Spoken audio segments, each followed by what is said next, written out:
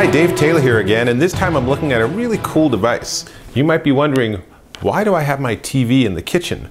The answer is because I'm testing out the DVDO Air 3C. This is a wireless HDMI transmitter receiver pair. That's what this is on the top here. So let me walk you around and show you with some footage. But the idea is that this is a 60 gigahertz wireless device that runs, it can run about 30 feet and all of a sudden, all those wires, all the complication of trying to get all of your HDMI into your TV goes away. Now, it is line of sight, so you can't have the transmitter in one room and the receiver in the basement. That doesn't work very well.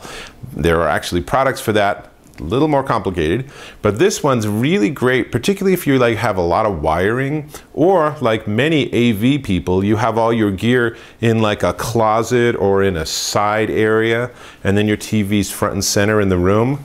You use this to transmit and receive, and you don't have any wires. So pretty sweet. So first off, what we're looking at here is we're looking at the receiver unit. And as you can see, it's not much bigger than maybe a deck of cards, a small paperback book. It's USB powered. Now let's switch to the transmitter. And this, of course, with me, it's sitting on a top of a pile of other devices, works perfectly well. And as long as the devices can see each other, everything works fine. And here's something important for you gamers, it has zero latency.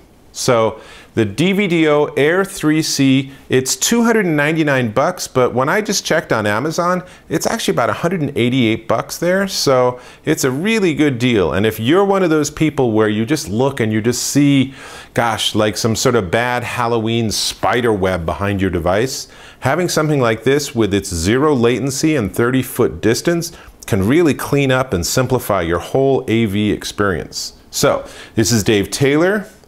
We're talking about the DVDO Air 3C Pro. You can check out and get more information from dvdo.com.